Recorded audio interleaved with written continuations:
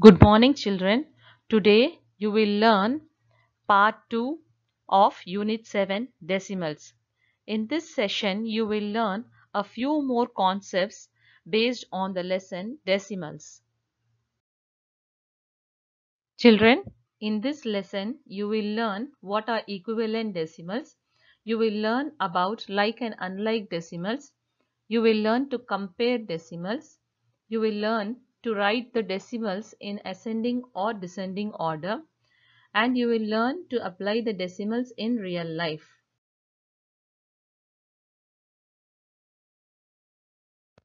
Now children, let us learn what are equivalent decimals. Here in this slide you can find three squares or three grids or you can say there are three wholes W-H-O-L-E-S three wholes now, each whole is divided into different number of equal parts. The first whole is divided into 10 equal parts. The second whole is divided into 100 equal parts. The third whole is divided into 1000 equal parts. Now, let us write the fraction for these three wholes. We will write the fraction for the amount which is shaded, that is for the shaded part. The fraction for the shaded part for the first whole is 3 by 10. The fraction for the shaded part for the second whole is 330 by 100. The fraction for the shaded part in the third whole is 300 by 1000. We can say that these three are equivalent fractions because when you have a look at these three wholes, you can see that the same amount or the same parts of the three wholes are shaded. Here 3 parts out of 10 equal parts is shaded. Here 30 parts out of 100 equal parts is shaded and 300 parts out of 1000 equal parts is, is shaded. So we can say that these three are equivalent fractions. Now the fractions with denominator 10, 100 and 1000 can be written as decimals. The decimal in words for 3 by 10 is 3 tenths for 30 by 100 it is 30 hundreds. For 300 by 1000 we can write as 300 thousands. So these three decimals in words are also equal equivalent. We can write this in the form of a decimal number.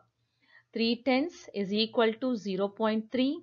30 hundredths is equal to 0 0.30. 300 thousands is equal to 0 0.300. So we can say that 0.3 is equal to 0.30 is equal to 0.300. So which represents these three wholes. The decimal numbers represents the decimal for the first whole it is 0.3. For the second whole it is 0.30.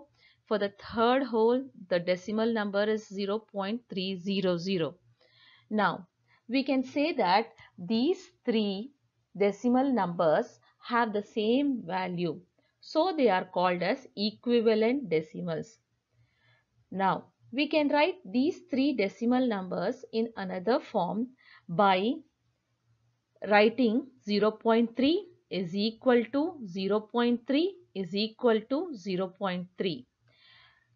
We have removed the 0 from 30 hundredths. We have removed one 0 and we have written 0.3 and from 300 thousands 0.300 we have removed the two zeros and we have simply written 0.3 why? Because writing or removing zeros at the end of a decimal number does not change its value. So please note this point. When you have equivalent decimals as 0.3 0.30 and 0.300 you can remove the zeros at the end as writing or removing zeros at the end of a decimal number does not change its value. Fill in the blanks with equivalent decimals. Question A 0.6 6 tenths is equal to 0.60 that is 60 hundredths and what should we fill up in the third place? It should be 600 thousands that is 0.600. Question B 1.7 is equal to 1.70 is equal to 1.700. As we have learned in the previous slide, writing or removing zeros at the end of a decimal number will not change its value. Question C. 2.40 is equal to 2.4 is equal to 2.400.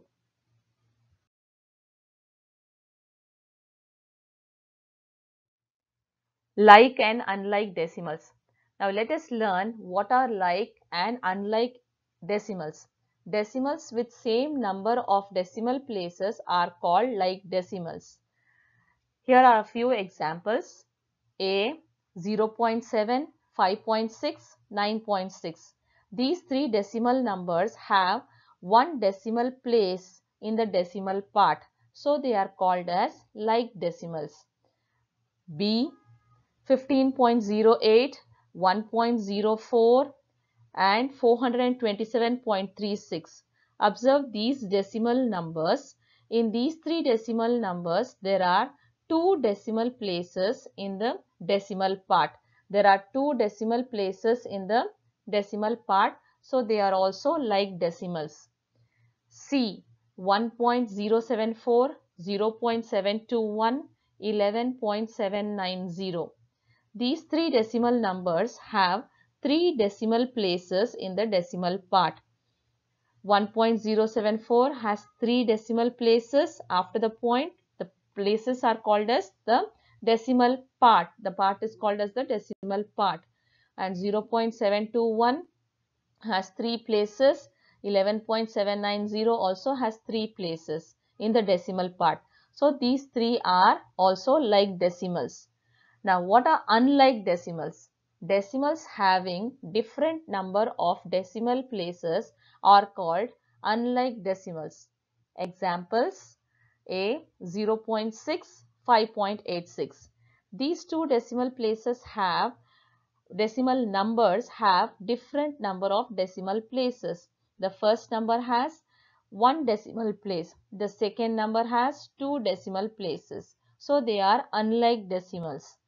B 17.24 14.8 these two numbers also have different number of decimal places in the first number there are two decimal places in the second number there is only one decimal place so they are called unlike decimals c 0.639 9.53 these two numbers also have different number of decimal places three decimal places are there in the first decimal number and there are two decimal places in the second decimal number. So they are also unlike decimals.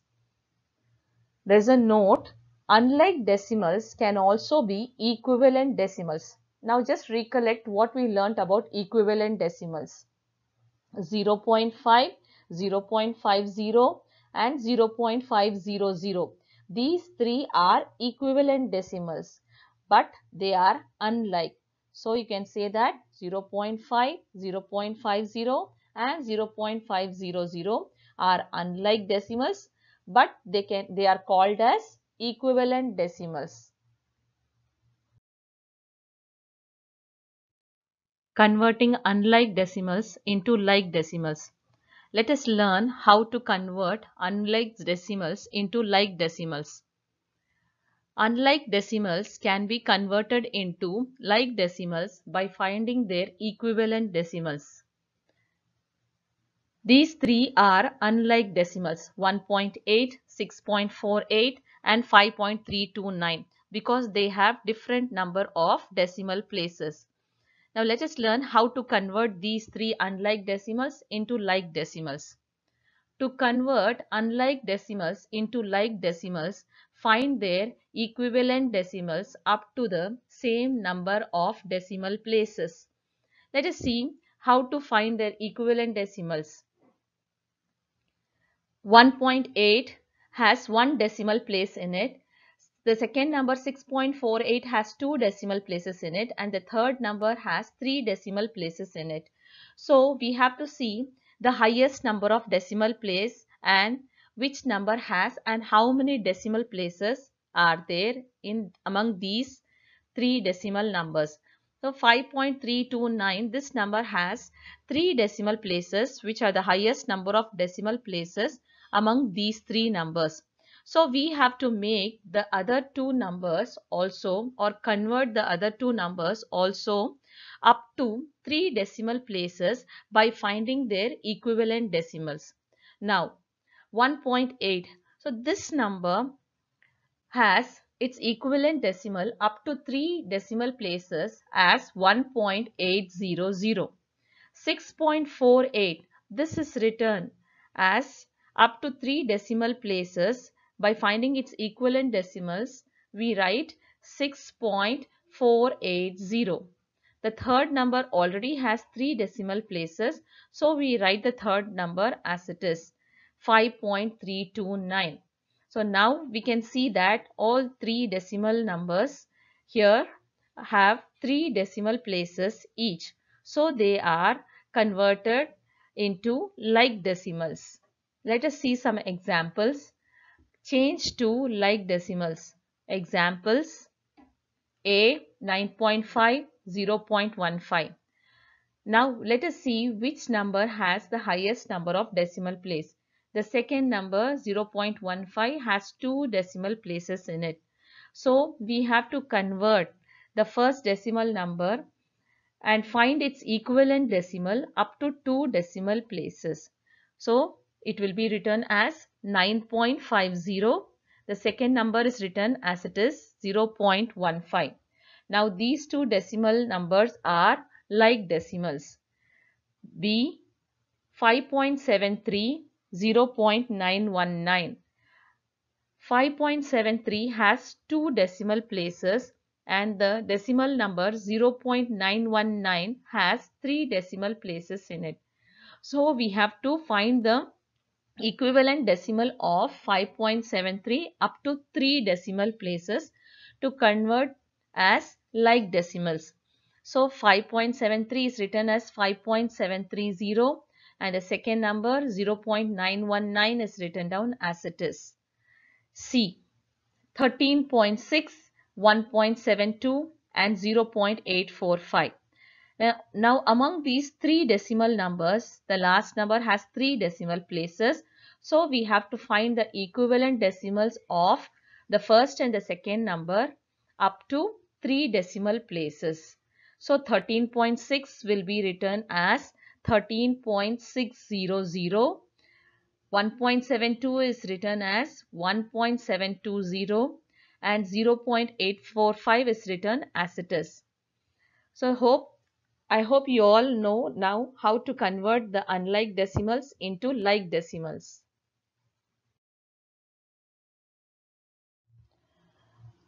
Students, we will learn to compare decimals using mathematical models. To compare decimals, at least two decimal numbers will be given. Here in example 1 we have 0.4 and 0.08 that is 4 tenths and 8 hundredths. 4 tenths is shown with the help of the model as 10 equal parts. This whole has 10 equal parts and 4 parts are shaded. In second model out of 100 equal parts 8 parts are shaded. So it's very obvious with this example that 0.4 that is 4 tenths is greater than 8 hundredths. Example 2 33 hundredths 0.33 and 39 hundredths 0.39. These two numbers are compared. Now let us represent 0.33 with the help of mathematical model 33 hundredths out of 100 equal parts, 33 parts are shaded and in the second number 0.39 out of 100 equal parts, 39 parts are shaded. So now from these two we can say that 33 hundredths are less than 39 hundredths. Exercise 7D question number 1 color to compare. In this question in the textbook you can find the grids are already given and you just have to color the parts which are which represent the decimal number 0.53 and 0.07 here 53 hundreds. We have to represent 53 hundreds. So this is represented as a whole which is divided into 100 equal parts and out of that 53 parts are shaded. And in the second whole 100 equal parts 7 parts are shaded. So it is also obvious in this question that 53 hundreds are greater than 7 hundreds. This is how we use mathematical models to compare decimals. Children, now let us learn comparing decimals. To compare decimals, we have to follow certain steps. The first step is that to compare decimals, first convert them into like decimals. The second step is that next compare the whole number part. Third step is that then compare the decimal part starting from tens, hundreds and thousands. So keep these three points in your mind so that you can do the comparing easily. Exercise 7D, question number 2. Compare using less than, greater than or is equal to sign. First question A 9.099 and 9.99. We have to compare these two decimal numbers. So first we have to check whether they are like decimals or unlike decimals. They both are unlike decimals. So we have to convert them into like decimals by making this decimal number 9.99. The decimal part has to be made up to 3 decimal places. So we add a 0 with this. Now 9.099 and 9.990 are like decimals. So now let us follow the second step here. First compare the uh, whole number part. In whole number part we have 9 here and also the second number has same 9 in the whole number part. So we move on to the decimal part. In decimal part we have 0 tens. We start comparing from the tens place. First tens, then hundreds, then thousands.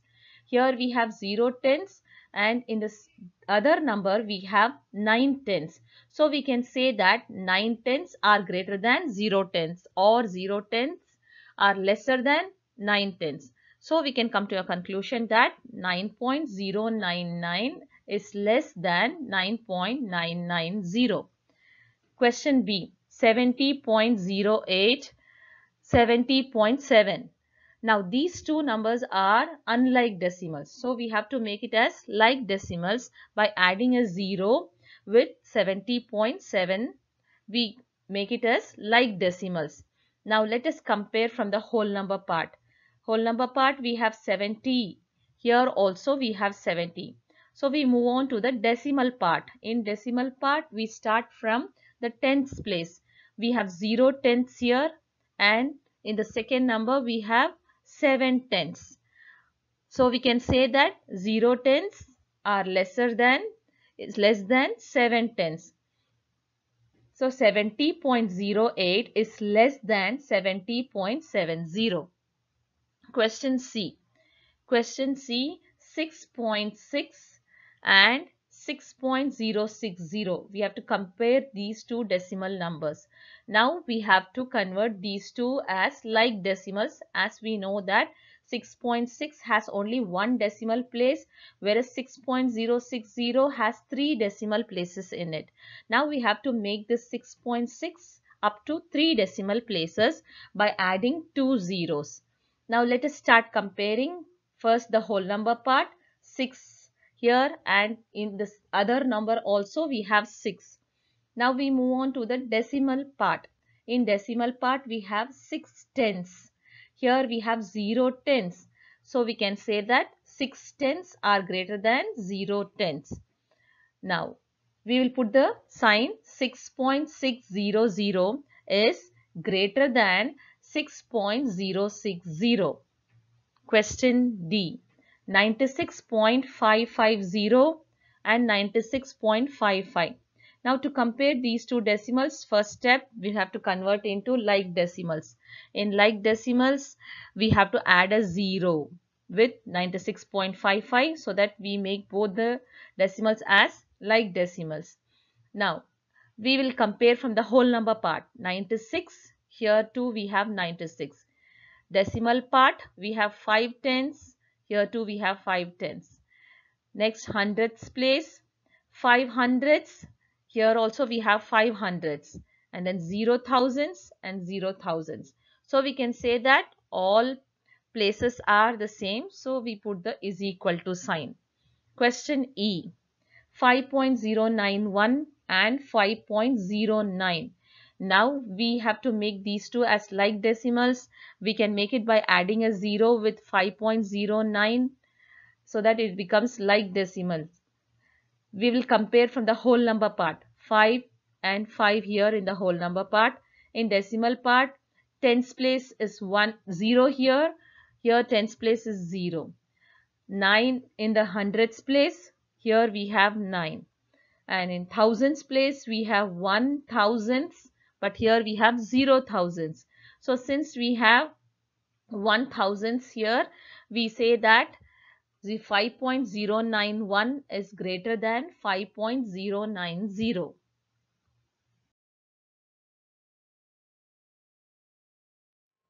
Dear students, ordering decimals and application in real life will be continued in the next video.